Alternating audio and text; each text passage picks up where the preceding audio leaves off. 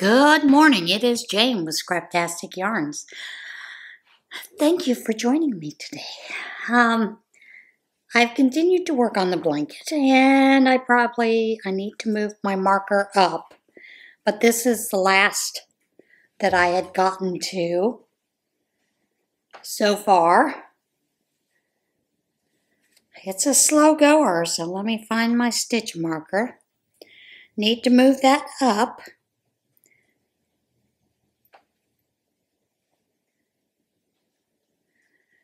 That way I can kind of see my progress as I'm going.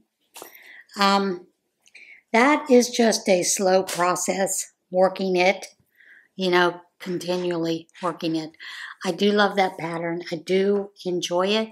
It's very nice, very relaxing to work on. I did, um, we had a auction at our church this Saturday evening. And um, I worked a little bit on the circular shawl that I had started. So I did a little bit while I was there at the church with the auction before it started. Um, the auction was to raise money for a missions team that is going to Sartaneja, Belize. Um, they are helping with the adding on classrooms for a church that is there with, I believe, Living Ministries or Life Ministries. Not sure which one it is. But um, they raised quite a bit of money, so I was surprised. And no, I didn't buy anything. I didn't plan on buying anything. I was just there to support the team and see how it goes. And it was a lot of fun because there was a lot of laughter, uh, a lot of silliness, and a lot of um, provoking with the bids to try to get someone to bid higher, you know, that kind of thing. I did get to row 40 of the bod shawl, and um, that is going, you know, pretty slow for me. Um, a lot of uh, a lot of work around the house kind of keeps me from working on crochet projects which, you know, that's understandable. Um, but I do enjoy my crochet time, my sewing time. Um, I have bags that are coming up at the end of the week that'll be for sale. Um, just didn't get finished with what I wanted to get done, so those will be coming up at the end of the week for a shop update. Uh, I found some more yarns that I wound up into cakes. And of course, I had them sitting on a TV tray over here, getting ready to go put them away. And uh, I'd gone to get a drink of water, and I turn around and I see Izzy carrying off one of the cakes in her mouth across the room. That cat's something.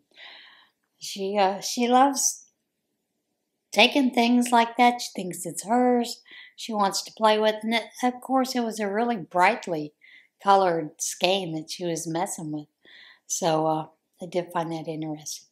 The only thing I did get finished, and I'm going to have to insert a picture here, are the gnomes for the boys. When I gave those boys those gnomes, it, it was so cute because I put them in little gift bags. They took the gnomes out, handed me back the gift bags, took off running to their parents to let them know that the gnomes were here. And then they were showing all the other kids. I did have one of the little kids walk over to me and say, You make gnomes? Yes, I make gnomes. So I don't know if that means she wants a gnome or not. Um, she's one of our cuties. Like she's she is very shy, but she started opening up, going with Awana. But she constantly walks up to us and lets us know what she's learned in her ballet class because she's going to be a ballerina. And her name is Cora. She's beautiful, big, beautiful blue eyes, adorable. But uh, those are the only things that I've been working on so far besides cutting uh, the bags to be sewn and interfacing them, those kind of things. And then, of course, outside with the bamboo. The bamboo struggle is continuing. Um, I have reached an area where I can actually apply the um, killer, you know, plant killer, so I can apply that, not have to worry about it getting into the water system. So that is what I'm doing with some of the other areas where the bamboo is. I mean, it looks beautiful, it looks gorgeous, but when you realize that it will overtake your yard completely, um, yeah. And so, yeah, I'm, I'm just fighting with bamboo. The other thing is, um, I did want to tell you this morning I woke up with Ronan on my chest, sniffing my nose and licking the tip of it, and mewling in a, a real high pitched mew. Um, generally, that is his distress mew. And uh, he's quite, you know, looking me in the eye like, Aren't you getting up? Get up, mother, get up. Um, I come in and their bowl was practically empty.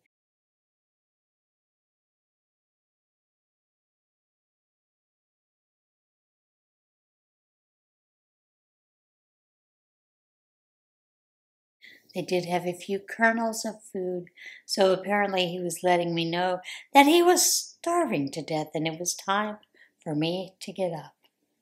Those are the antics you have with cats. All right, guys, that is basically it for this uh, podcast. I do have a couple of um, other videos that will be coming up later on.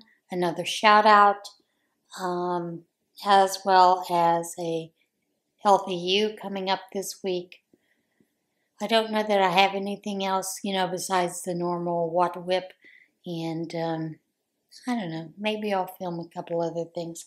I don't know. We'll see. All right, are you ready for a little what in tarnation? I know I am. Bear blocks traffic on California highway. Traffic on a California highway was brought to a standstill when a bear wandered out onto the roadway and paused to enjoy the view. Witness Dan Caines captured video when the bear wandered onto the 14 freeway nor- near Newhall Avenue in Santa Clarita about 7 p.m. Tuesday. The video shows the bear wander out into the roadway, stopping traffic. The animal looks around for a few minutes before turning around and returning to the hills. Motorists displayed compassion and patience for the bear, Caines told KTLA TV. He said the Bruin appeared to be a little confused. You know, dinosaurs, we always think of huge. Gators, we don't always think of them as huge, but when they are huge, they are related to dinosaurs. And supposedly they are very much related to dinosaurs. Absolute dinosaur gator seen on Florida school path. Wildlife trappers were called to a Florida school where an absolute dinosaur of an alligator came wandering up a path. The Pinellas County Sheriff's Office said deputies responded to the report of a large alligator on a pathway used by kids who walked to and from a nearby elementary school. Deputies contacted the Florida Fish and Wildlife Conservation Commission for help relocating the 12.5 foot gator. That's massive. PCOS remained in the area to keep the public from accidentally stumbling across this absolute dinosaur of an alligator until trappers contracted through FWC arrived. Deputies helped trappers capture the alligator and relocate it to a more suitable habitat far from the school. We always think of raccoons as being awful cute little critters, trash pandas, but they really are a menace to crops. Um, one of the patients that I used to care for, um, he had beside next to him a whole field of his. He grew had a garden there that was about a fourth of an acre. And the raccoons used to just tick him off no end. They would come in and destroy his garden. And they would eat their way through it. They don't eat everything. They would eat half of a bell pepper. They would crunch open a watermelon, but they wouldn't eat the whole thing. So he was never happy with the raccoons. Tokyo struggling to deal with crop destroying raccoon invasion. Authorities in Tokyo are struggling to deal with problems caused by an especially wily invasive species, North American raccoons. The city reported the number of raccoons living in the wild in Tokyo and its surrounding areas has skyrocketed in recent years, with 1,282 trapped in fiscal 2022, a sharp increase from the 259 caught in fiscal year 2012.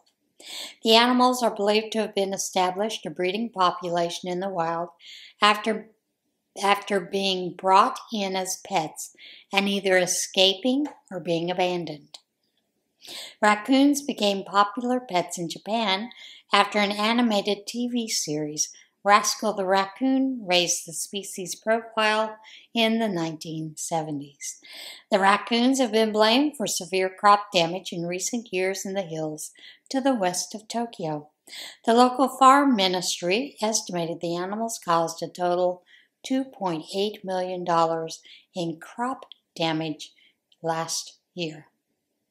Local authorities said the highly adaptive animals have proven difficult to deal with, and they've even started destroying the traps that are set out by the officials. Man. Now, this next raccoon wanted to be a soccer star, apparently. And there's video. A Major League Soccer game between the Philadelphia Union and New York City FC was interrupted when a raccoon ran out, on, ran out onto the field and evaded capture for 161 seconds.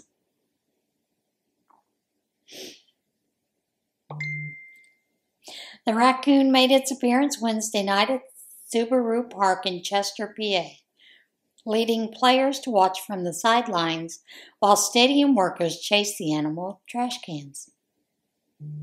Seems appropriate, trash pandas. The pitch invade. This is marvelous entertainment, play-by-play announcer Callum Williams said during the chase. The pitch evader, dubbed Raccoino, the raccoon, by MLS on social media, earned cheers from the crowd as it evaded capture. At what point are we just rooting for him, announcer and former MLS player Calen Carr asked. Workers were eventually able to capture the raccoon between two trash cans and carry it off the field. Officials said the raccoon set a new record for the sport. Raccoino, the raccoon, spent 161 seconds on the field tonight, which is the most by a raccoon in MLS history. A team spokesman confirmed the raccoon was removed from the stadium by pest control company Hoffman's and safely released. Rest assured, our new friend was released unharmed, the representative told USA Today. Escaped cockatiel rescued from sixth story window ledge. Firefighters in Minnesota used a supersized ladder truck known as the Tower to rescue a cockatiel that escaped from her owner and became stranded on a hospital window ledge. The Duluth Fire Department said on social media that the cockatiel named Nina escaped from her owner and was located on a six story window ledge at St. Luke's Hospital. Firefighters arrived with Tower 1, a truck bearing a 100 foot ladder and bucket, and went up to rescue Nina. The firefighters were able to bring the bird safely back down to earth to be reunited with her owner. Thank you to St. Luke's Security for the assist, assist, the post said. Have you ever wondered if tacos are sandwiches or not? Indiana judge rules tacos are Mexican style sandwiches. An Indiana judge resolved a legal dispute surrounding a Fort Wayne strip mall by ruling that tacos and burritos are Mexican style sandwiches. Martin Quintanilla, oh, Quintana, sorry, The developer behind the new Quintana Plaza strip mall on Jefferson Boulevard in Fort Wayne entered into a written agreement with the Covington Creek Condominium Association that was intended to keep fast food restaurants from opening in the block of stores. The agreement allowed for the opening of made to order sandwich restaurants, with Subway and Jimmy John's listed as examples, but barred traditional fast food restaurants such as McDonald's, Arby's, and Wendy's. The agreement also prohibited allow, any allowed restaurants from offering outdoor seating, drive through service, or alcoholic beverages. Quintana struck a deal in 2022 to open a location of locally owned eatery, the famous taco in the strip mall. The Condo Association approved an amendment to allow the restaurant, but the Allen County Plan Commission rejected the amendment, citing the earlier written agreement. The dispute was brought before Allen's superior, Judge Craig Bobay, who ruled that the opening of the Mexican restaurant would not require the original agreement to be amended at all. Bobay wrote, the proposed famous taco restaurant would serve made to order tacos, burritos, and other Mexican style food and would not have outdoor seating, drive through service, or serve alcohol. The court agrees with Quintana that tacos and burritos are Mexican style sandwiches, and the original written commitment does not restrict potential Americans to only American cuisine style sandwiches.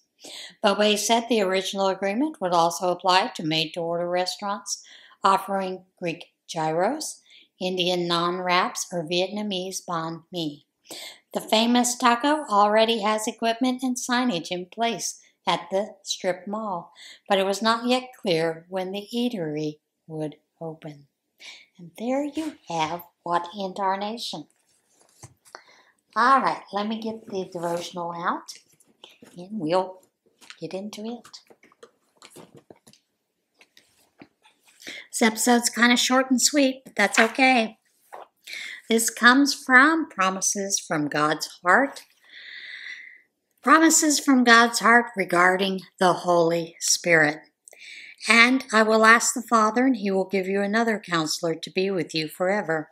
He is the Spirit of truth. The world is unable to receive him because he doesn't see him or know him. But you do know him because he remains with you and will be in you. John 14, 16 through 18. John the Baptist answered them all I baptize you with water, but one is coming who is more powerful than I. He will baptize you with the Holy Spirit. Luke 3 15 through 16. Turn to me and receive my gentle correction. Watch, and I will pour out my Spirit on you. I will share with you my wise words in order to redirect your lives. Proverbs 1 23. I will give you a new heart and put a new spirit within you. I will remove your heart of stone and give you a heart of flesh. I will place my spirit within you and cause you to follow my statutes and carefully observe my ordinances. Ezekiel 36, 26 through 27. Also, the Spirit helps us with our weakness. We do not know how to pray as we should, but the Spirit Himself speaks to God for us, even begs God for us with deep feelings that words cannot explain. God can see what is in people's hearts, and He knows what is in the mind of the Spirit, because the Spirit speaks to God for His people in the way God wants. Romans 8 26 through 27. Whoever speaks a word against the Son of Man, it will be forgiven him. But whoever speaks against the Holy Spirit, it will not be forgiven him, either in this age or the one to come. Matthew 12, 32. The one who keeps his commands remains in him, and he in him. And the way we know that he remains in us is from the Spirit he has given us. 1 John 3, 24. It is true that I baptize you with water as a sign of your repentance, but the one who follows me is far stronger than I am. Indeed, I am not fit to carry his shoes. He will baptize you with the fire of the Holy Spirit. Matthew 3, verse 11. And that is it for today's video. As always, be a little kinder to yourself. Get out there and see this big, beautiful world we live in. And find some time to crochet or knit. So do some crafting. Enjoy your life a little bit. See you guys soon. Bye.